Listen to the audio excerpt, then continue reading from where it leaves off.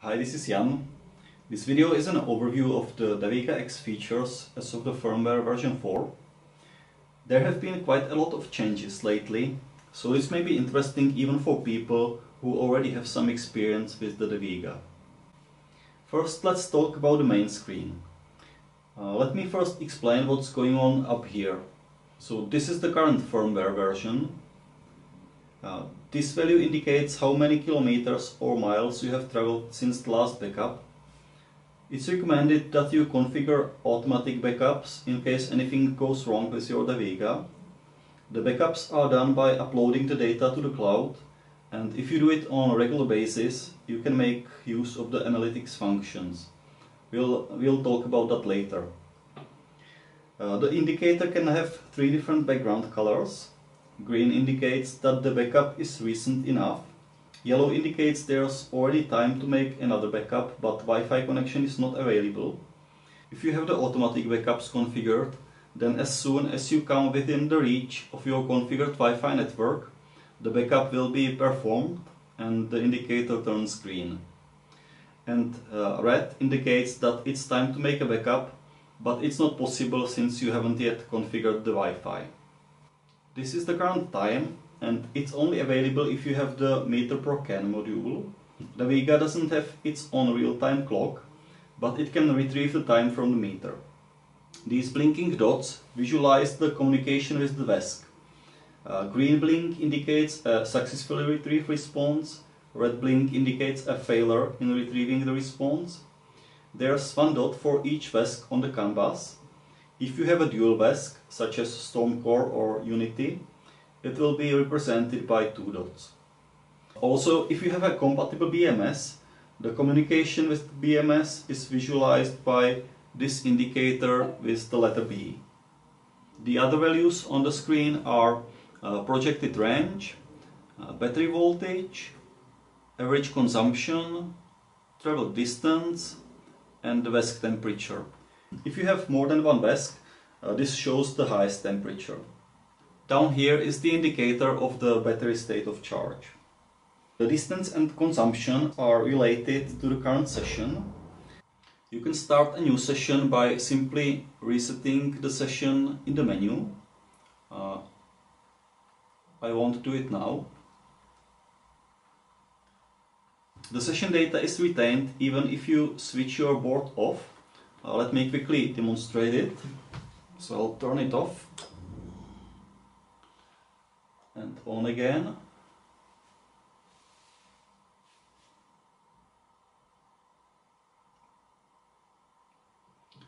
And you can see that we still have the same session data.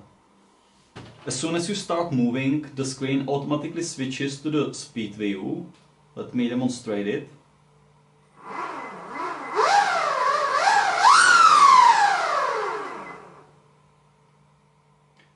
When you come to a stop, the screen switches back to the range view.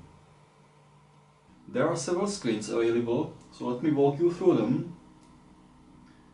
This is the overview screen and it's a mixture of various values that I personally find the most important or the most interesting. Uh, the battery voltage, average speed, travel distance, projected range, the maximum motor current seen in the current session, and the maximal braking current, and the same for the battery, the maximal battery current and maximal braking current on the, on the battery, the VESC temperature, and the watt hours remaining on the battery. This is the session screen and it shows all the session data, the average speed, the maximum speed achieved in the session, travel distance, consumption, uh, the energy discharged and recharged in both watt hours and milliamp hours, uh, the uptime and the riding time. And the lifetime screen basically contains the same data as the session screen the only difference is, as you would expect, the data is not reset when you reset the session. This is the BMS screen and it's only available if you have a compatible BMS. Currently, DAVEGA supports the FlexiBMS and the DieBieMS. They are both great products and I highly recommend that you check them out. I'll leave the links in the description. The values displayed on the screen are the voltages on the individual parallel groups. You get both the numeric values and a visual indication. The visual indication makes it quite easy to see if any of the parallel groups is out of balance. For example, in this case we can see that the group number 8 is slightly low. The other values here are the average voltage, the charging current, the temperature on the BMS and the battery state of charge in percent. If you connect the charger, the view automatically switches to the BMS screen.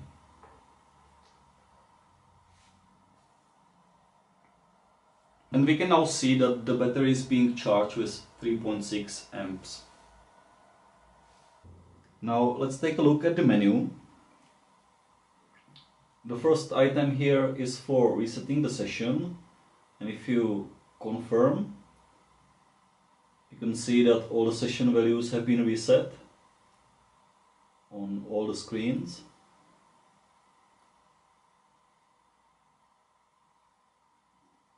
Next, let's have a look at the part's lifespan. So this wasn't even my idea. Uh, Luke Ritchie, who designed the enclosure for the DAVEGA, came up with this. And it's one of my favorite DAVEGA features. Uh, this lets you keep track of how many kilometers each of your board components has seen. So for example, you can see that I have over 2000 kilometers on my motors. And this is fully configurable. You can adjust the values for each of the parts. For example, uh, say that I'm replacing my belt, so I can set this one to zero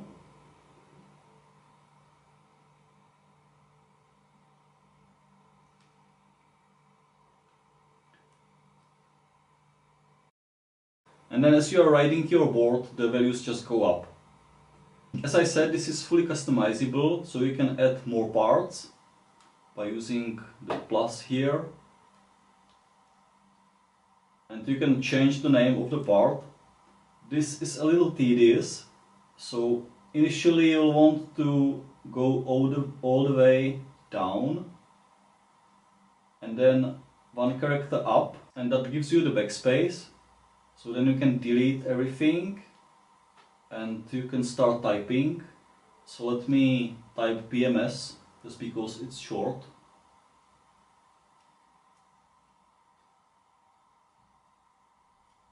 And then go all the way down again to the enter key. Confirm and now the new part is added. Then there's drive and battery settings. These are probably mostly self-explanatory, so I won't go in, into many details here. Maybe just to mention, if you have a direct drive, then you will want to set the motor pulley teeth and the wheel pulley teeth to the same value. It doesn't matter what value it is. It could be 1 and 1 or 44 and 44.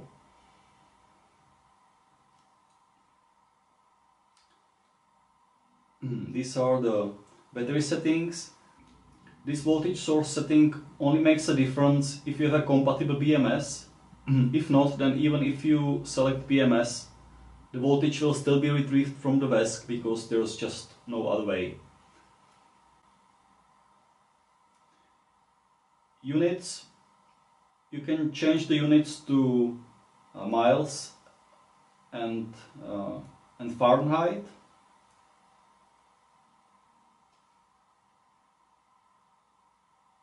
Now if we go back, you can see that the VESC temperature is now displayed in Fahrenheit. And then on the lifetime screen, uh, some values switch to uh, the miles per hour or miles.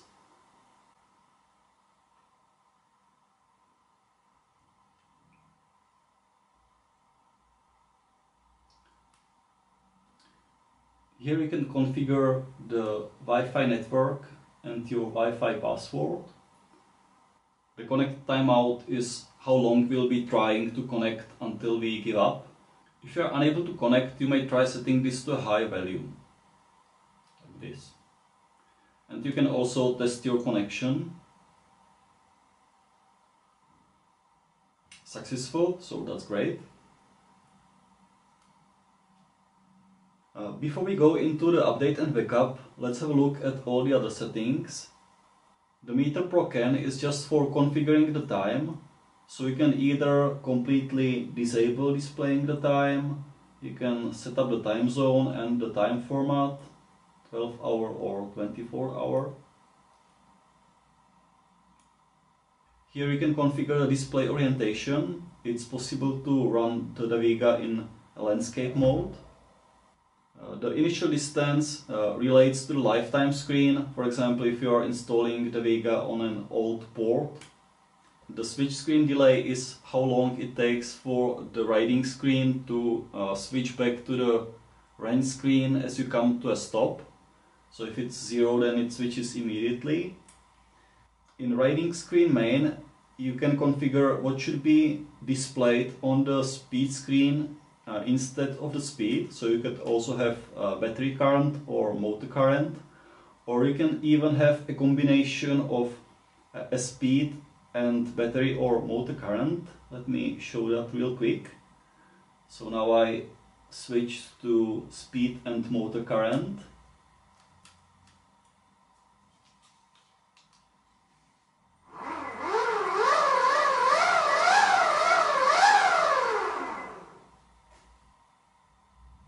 So with this setting the speed is displayed as normal and in addition to that you have the motor current in the upper left corner right here.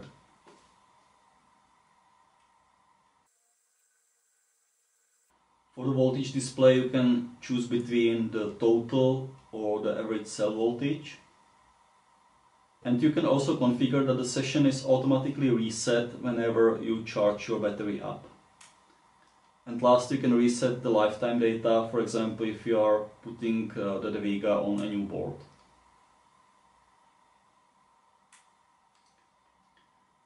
Then on the About screen you can see the details of your DAVEGA, the firmware version and your device ID.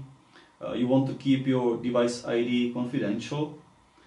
Uh, then your VESC details and your BMS details. Last we'll look at the update and backup settings. Uh, when you enter this, uh, first the device will restart and that's because this will involve uh, communication over Wi-Fi which requires a lot of memory and the restart is simply to maximize the memory available and to prevent any memory errors. In the backup menu uh, you can uh, backup your configuration and your data manually can list your latest backups.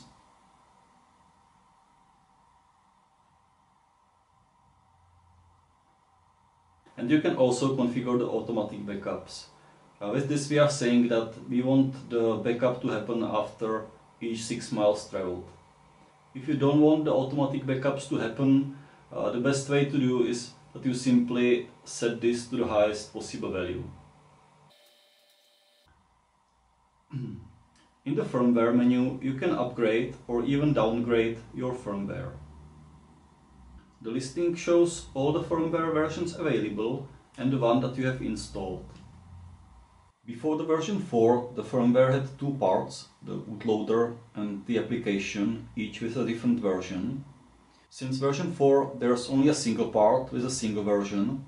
The downside is that you can no longer have multiple versions installed at the same time, but the advantage is that this is much less confusing and also all firmware updates can now be done over Wi-Fi, which is a great improvement over the previous state when you needed to get access to the USB port in order to update the bootloader. You can also still easily switch between different firmware versions. It just takes longer than before because the firmware always needs to be downloaded. To install a firmware, simply select the desired version and click download and use.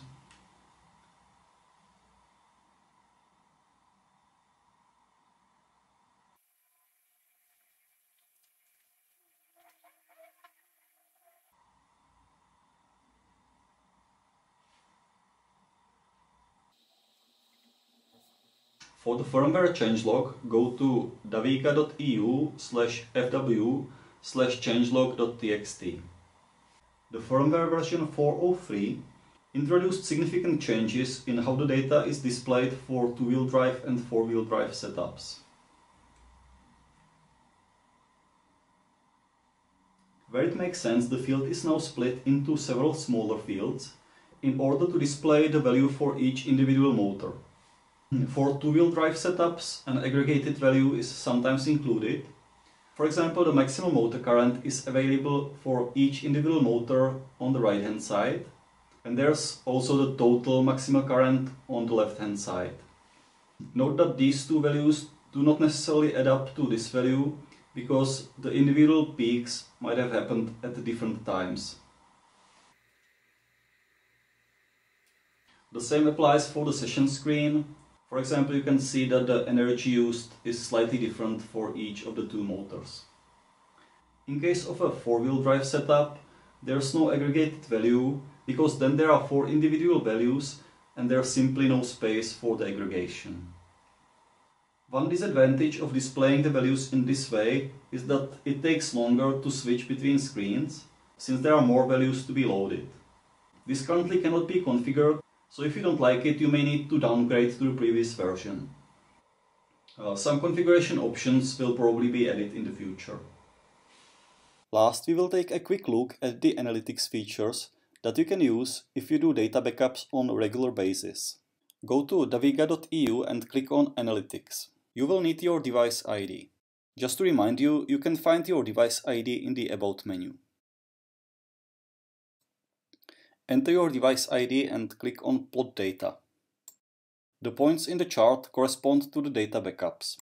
You can see how much riding you have done at various times or the evolution of your average speed or your average consumption. You can add more data or hide data by clicking on the legend at the bottom. This is the last part of the presentation. Thank you for watching.